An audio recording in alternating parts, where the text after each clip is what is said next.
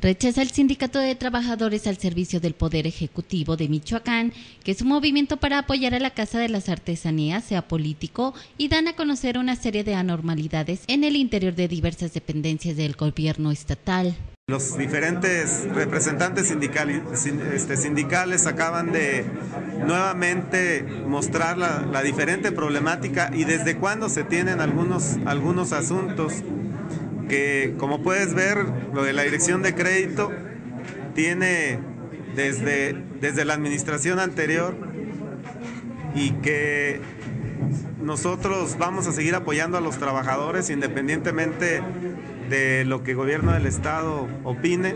Yo le pregunto al señor gobernador si no es más movimiento político lo que se realizó en la Contraloría en meses pasados, donde les pidieron a los compañeros que en su horario de labores salieran a registrarse al PRD. Aquí lo tengo, compañeros, manifestado en un acta que firmamos en esa época.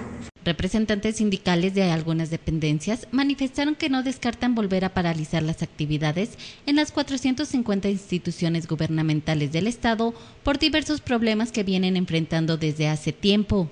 Lo de Casa de Artesanías es lo que tenemos eh, pues ya estallado, se puede decir así, pero pudiera alguno de los problemas que se comentaron aquí también eh, detonar en la, en la, misma situación que estamos en Casa de Artesanías. Hay una situación que ya tiene años, alrededor de siete años, con una persona que es el encargado del Departamento de Informática de la Subsecretaría.